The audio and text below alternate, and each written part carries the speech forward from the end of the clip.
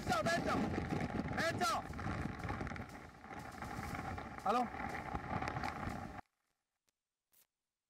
है। वो लोगों को पूरी निगरानी रख रही ताकि कोई भी यहाँ पर ना हो, ये सुनिश्चित किया जा सके। और यही कारण है कि पुलिस प्रशासन लगातार गश्त पे है।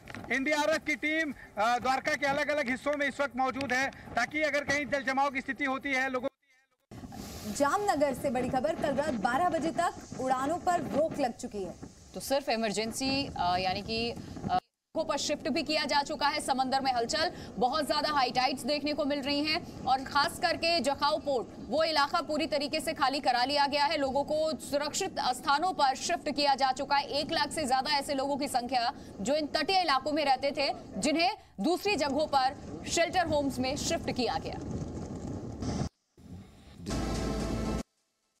है, उसमें फ़िलहाल कोई राहत मिलती नज़र नहीं आ रही है और जो अन्य आने वाले कुछ घंटे हैं वो और भी ज़्यादा निर्णायक हो जाएँगे और भी ज़्यादा लोगों को जो में लौटने में कितना पैसे इस तरीके की अगर फ्लड यहाँ पे रह जाएगा तो लोगों को दिक्कत होगी।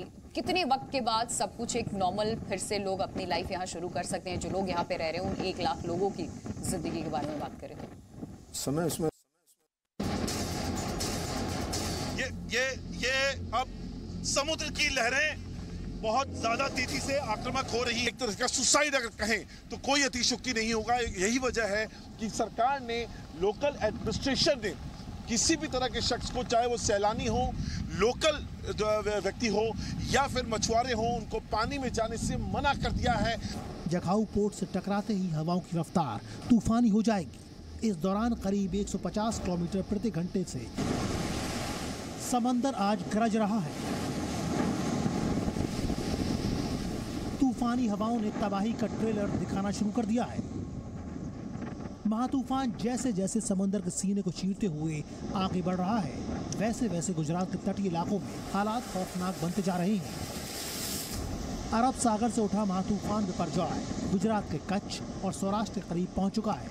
मौसम विभाग के मुताबिक विपरजॉय जखाऊ तट से महज कुछ मील दूर रह गया है।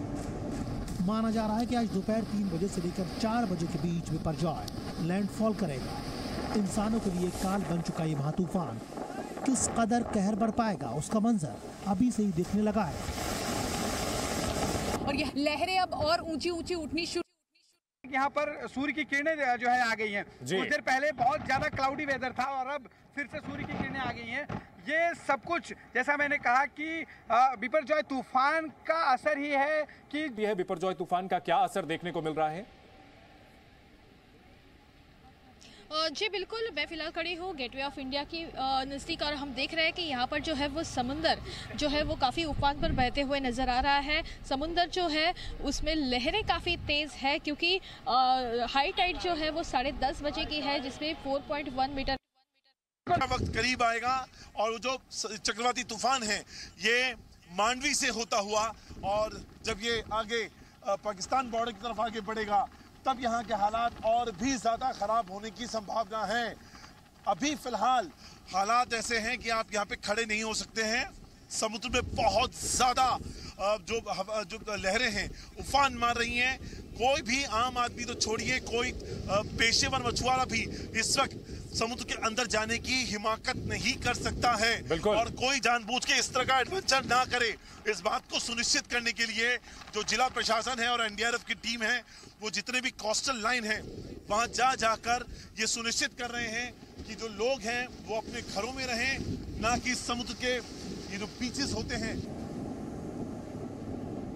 समुद्र से टकराती हुई लहरें जो समुद्र की जो लहरें हैं वो जो तट से टकरा रही हैं वो बताने के लिए काफ़ी हैं कि जो तूफ़ान है वो कितना तेज़ी से अपना विकराल रूप धरता जा रहा है और जो जो, जो स्तर है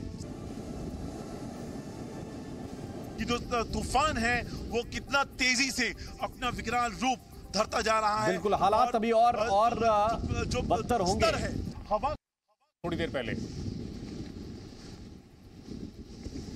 देखिए मांडवी में मैं लगातार बता रहा हूँ समुद्र तल का जो समुद्र तल का जो स्तर है वो लगातार बढ़ता जा रहा है हर पल के साथ बढ़ता जा रहा है। थोड़ी देर पहले जहाँ हम रिपोर्टिंग कर रहे थे अब वहाँ खड़ा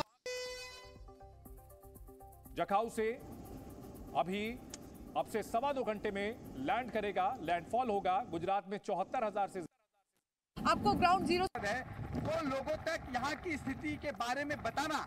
ताकि लोग सावधान हो जाएँ। लगातार हम जो कह भी रह रहना है अलर्ट आप कैसे रहेंगे? आप अपने घर पर रहकर सावधानी पूर्वक अलर्ट रह सकते हैं। आप अपने घरों में जब रहते होंगे तो वहाँ